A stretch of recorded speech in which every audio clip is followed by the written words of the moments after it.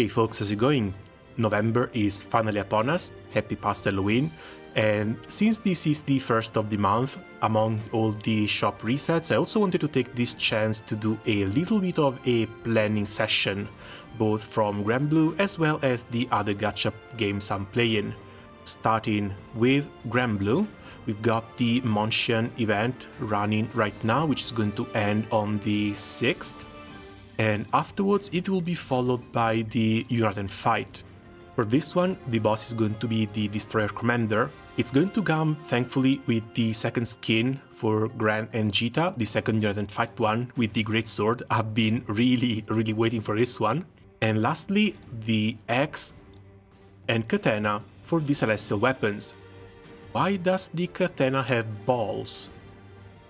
That's a little bit weird. But still, both Axe and Katana really, really good weapon classes. Apparently the Golden Tyrant will also drop a little bit more meat, but I'm not really planning to rank that high, mostly just aiming for top 90k, so 7 to 8k meat should be more than enough, unless I really want to farm hard for these two weapons, which shouldn't be necessary. Because last Guild War I didn't buy any of the weapons, I've got 120 mats left over, so I should be able to get both of the new ones.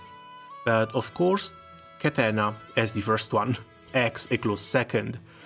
Then I think I might want the dagger as well, this one might be nice in a couple of grids, but we'll see later.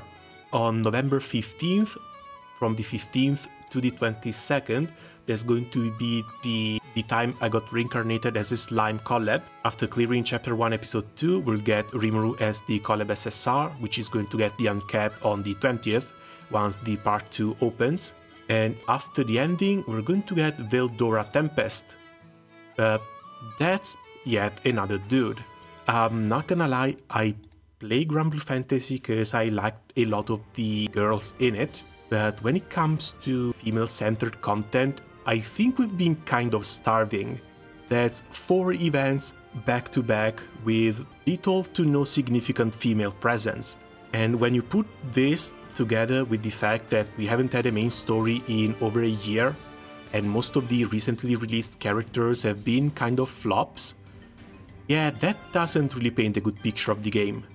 Still, let's keep our fingers crossed for the Slime collab, even though no announcement for the gacha characters just yet, just mission with the Eternity Sand, 10 rolls from the collab character banner, which we always get, and then there's a side story as well as the usual collab campaign.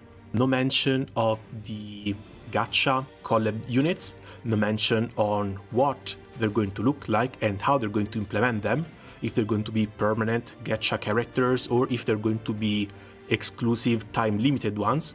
Fingers crossed they're not going to screw the pooch on this one. I really hope that they're going to do something fun for Christmas and New Year's really keeping my hopes high for the next Zodiac, because other than that, yeah, Granblue has been a little bit in a rut, not gonna lie.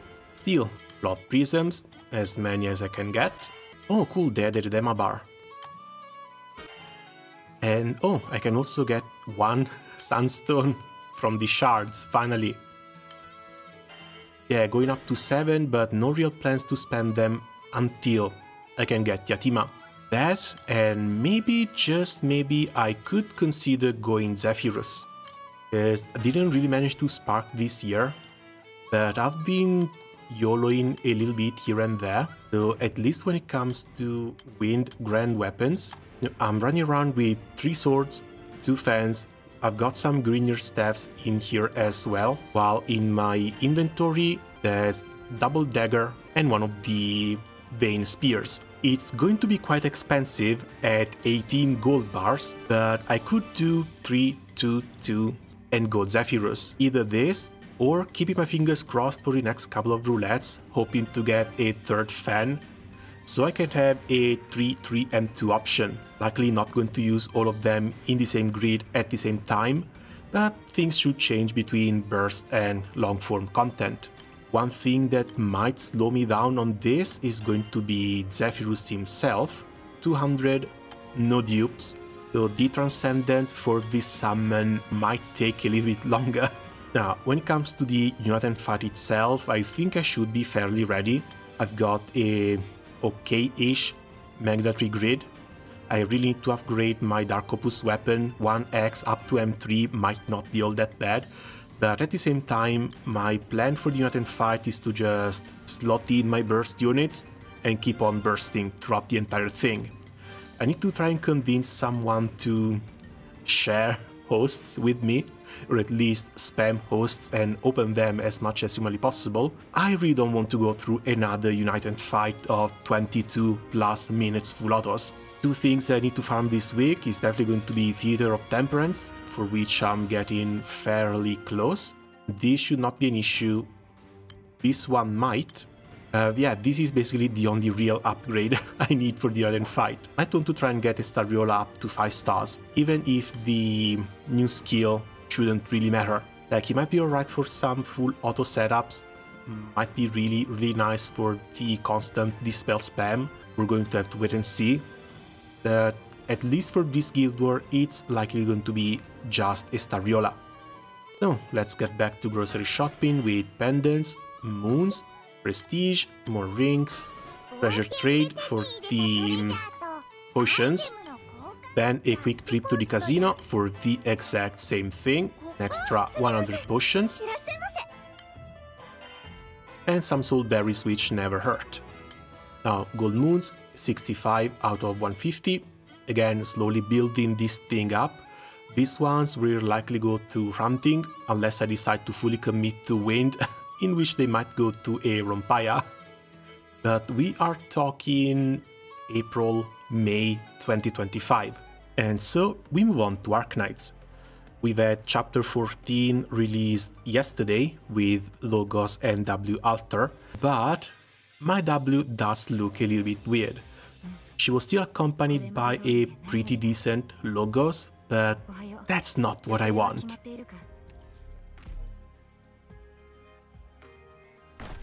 The hope is always there.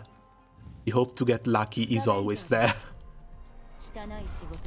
But yeah, in the meantime, I will have to try and scrounge as many pools as I possibly can. Because I don't want to walk out of this event without W. Search store, 2.5k should be able to buy everything of value here. Last two more tickets and the head some headhunting permits. Sadly, not all, but this is not the big issue. Next, distinctions. I only have 72. I don't know how many more I'm going to get, but I do want to spend them all on the extra tickets, just cause you never know. And hopefully between free draws and everything else, I can scrounge up a few more. I still have to start chapter 12 I still have to start chapter 13. That should be 21 to 24 random for each chapter. And then we have Absolved Will Be the Seekers for yet another 24. Should be able to get my hands on 40 to 50 pools, but there is also something that has to happen in the next 15 days, because our kind ends on the 14th. So from here until the 14th, I'm going to have to play through chapter 12, 13, and 14. We can do another 13 pulls. I've been getting such bad rotten... Come on, a blue one. I've been getting some bad rotten luck with the limited banners here in Arknights for the past few while. Because even when it came to Shu, I managed to get two of the non-limited operators back on the Shu banner. Okay, plus one for Gitano. Number 83 for Spot. And 84 for another Fang. 84 total, 2 6 stars, but still no Wiš'adel. Another thing to keep in mind is that with only 12 days remaining, there's also going to be the extra shop for Absolve Build BD Seekers that has another 3 pools in it. Arknights is going to need a little bit of attention this week. I want to get up to speed with the main story as fast as possible, so that I can just go back to farming the chapter 14 stages for these materials. Next up, it's going to be Genshin. Not much to do here since we played through the main story quest already, we're basically just waiting for Mavuika to come out and become playable. As usual, 5 and 5 for our monthly shop reset. Uh, so, we got Feast of Pursuit, 13 days, but this is going to be just another standard combat event. Ode of Candies that I still haven't started lasts for 5 more days. Gotta get on to this one because it's for Nahida's birthday. But that's basically it. Exploration lasts 60 more days. Imaginarium Theater just reset. And then we have the gacha banner, which lasts for 17 days and 18 more hours, so at least down until the 18th. By the 19th, we have to finish the Archon quest, because on the 20th, 5.2 begins. Chasca uses a flying gun as a weapon. Not too sure about the numbers that she's going to pull, but that's a character I wasn't really expected to like as much there's a very small chance I might actually pull for Chasca. If that doesn't happen, yeah, we're basically waiting for Mavuika to come out in 5.3 and later on little Granny Citlali here too. When it comes to resources, I'm sitting on 585, which should be more than enough to get basically everyone, both from Fontaine and from Snezhnaya. But let's do these 5 pulls, see if we can get anything decent. Goro Don 3D Cat. And that's the second 4 star. Okay, we actually didn't get all that screwed. Favonius Sword Tomb. I need these. I need these like bread. I'm using my R5 Favonius Sword on Xilonen. She's the one that I use the most. Second one is on Bennett. I will likely try and upgrade this one. Third one on Dendro MC. Also, yeah, not gonna lie, Chasca being an Anemo DPS might actually give me a good enough reason to finally build Hatsune Miku here. We're going to leave Granny Citlali here to sleep, and that's going to be it for Genshin. Next up, we've got Star Rail, for which I still need to go finish the banana event. Cold Feet pop-up shop is another 9 days, anytime before the Guild War, anytime after Arknights, likely Soundtown Ninjutsu, which follows the main story quest, Again, either I try and do all three in one sitting, or we might even leave this one for a little bit later, because we still have an entire month to clear it. Rappa's banner lasts for another 11 days, but as a break unit, I don't know. I think she's fun, I really like the character herself, but at the same time, I already have Firefly for a break team. Next patch, we're going to get Sunday, who looks like he's just going to be basically a mix between Bronya and Ting Yun, but he also pushes summons. Should be decent for a Jing Yuan hyper carry, but at the same time, still need Sparkle in that team too. And I don't think I'm picking any of those two up. The one character I might roll for next is likely going to be Ting Yun. She's going to be yet another break type unit, but she's going to apply Exo Break on top of the normal character's break bars. That might be a little bit more interesting on a gameplay standpoint. And that might also help a lot characters who want to break units as often as possible, like my little redhead over here. I might be adopting the fox mm-hmm. specifically to buff Himeko instead. Because when it comes to resources, then yeah, I'm sitting on almost 200 pools. Uh, wait, no, these are 200 pools. Embers Exchange, 450, 450. Stellar Trade. And there we go, that's 200 extra pools. These are not enough to get everyone though. Uh, Feixiao, of course, had to pick. There was absolutely no way I would be skipping on Feixiao.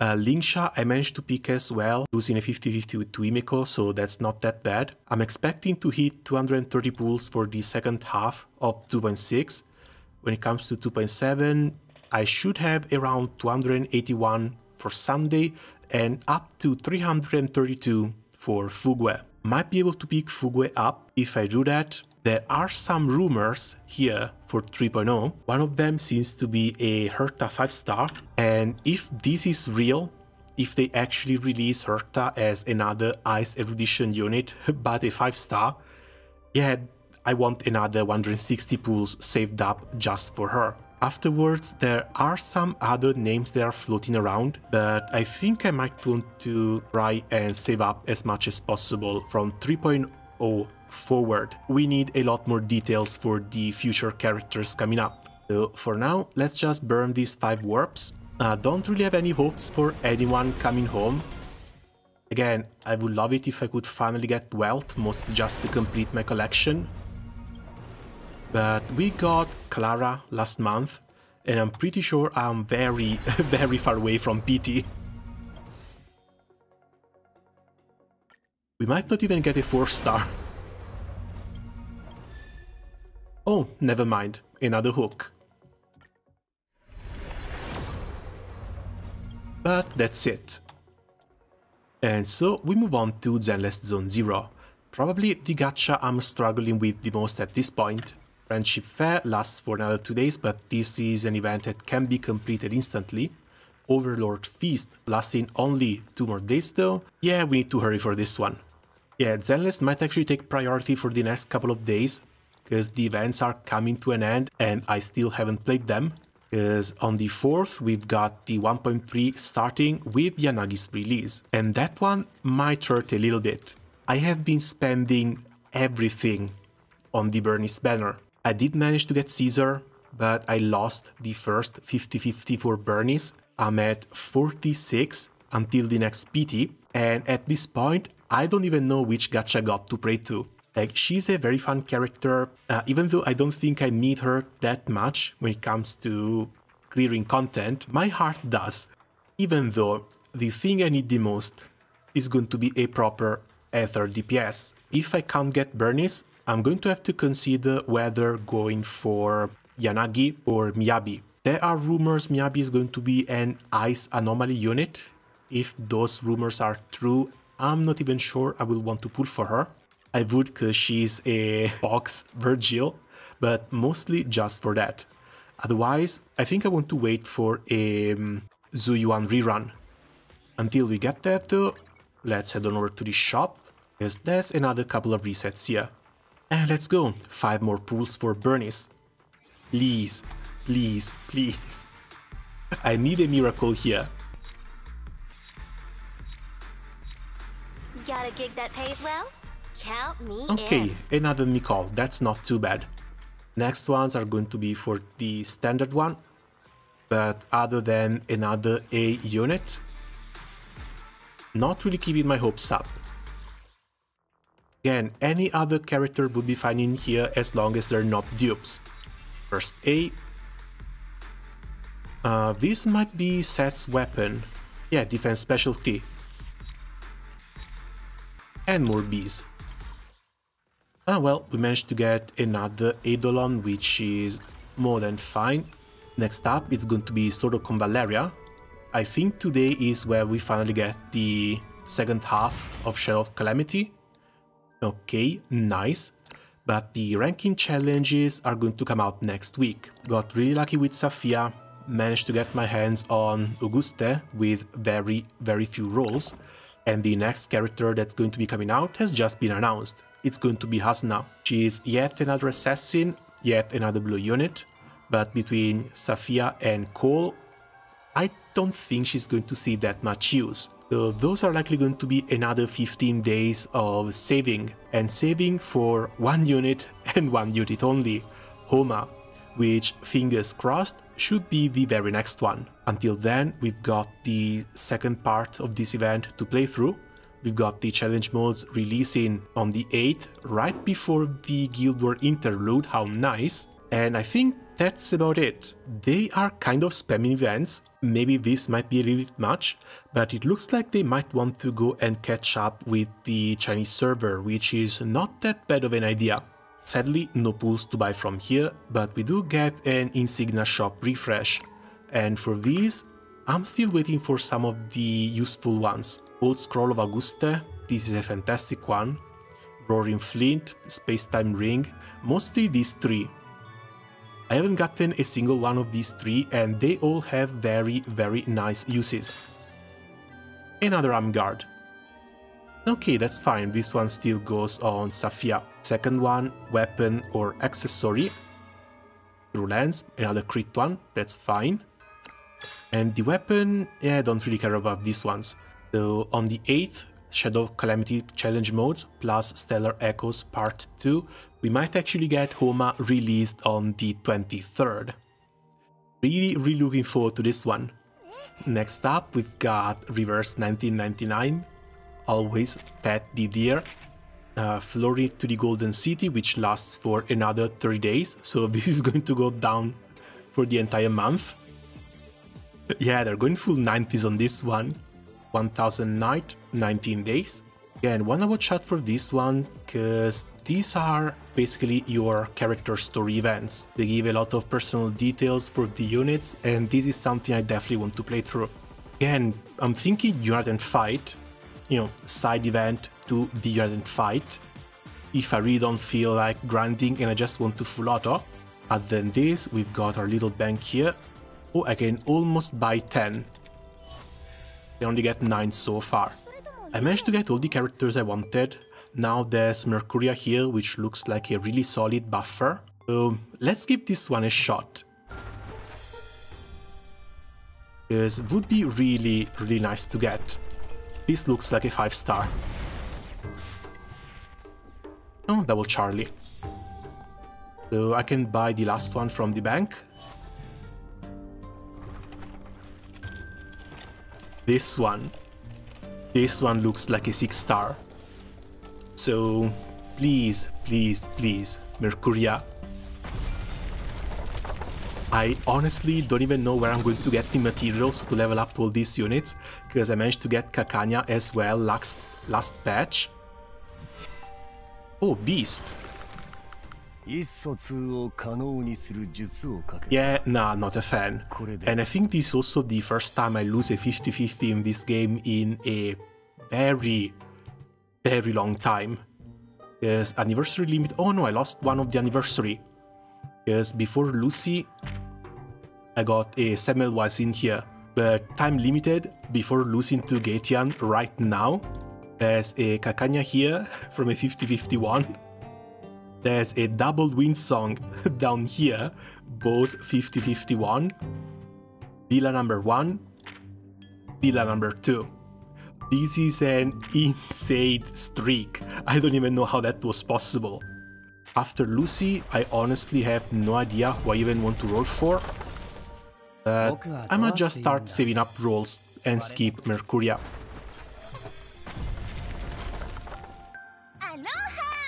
Okay, so that's the calendar for November. In the most important categories, we've got the Unite and Fight, uh, not sure if I'll be streaming this or if I'll just farm on my own time while playing something else on the side. Get the Slime collab on the 15th with part 2 on the 20th. Uh, when it comes to Genshin, we have Odo Candies ending on the 6th. I want to try and get this one down before. Star Rail finished the main story quest by the 4th. Uh, Cold Feet, Pure Fiction, this should be more than fine. We need to check on the Soundhound event, but for this one we have until the end of the month basically. Zenless, Friendship Fair, and soon Overlord's Feast, and soon. So Zenless, I want to get through the main story as soon as humanly possible. Uh, Wuthering Waves, we have the Lolo campaign ending soon, but at the same time, while I haven't fully dropped Wuthering Waves, I'm really logging in every now and then to check what's going on.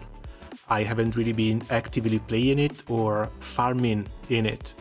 I think I might want to still check out the new main story quest. I hear it's really, really good. Arknights is the other event I want as high as humanly possible. I need to get through chapters 12, 13, and 14 this way I unlock the shop as soon as possible and I can just farm the chapter 14 stages for the shop materials. Next is Convallaria, Shadow of Calamity plus Stellar Echoes.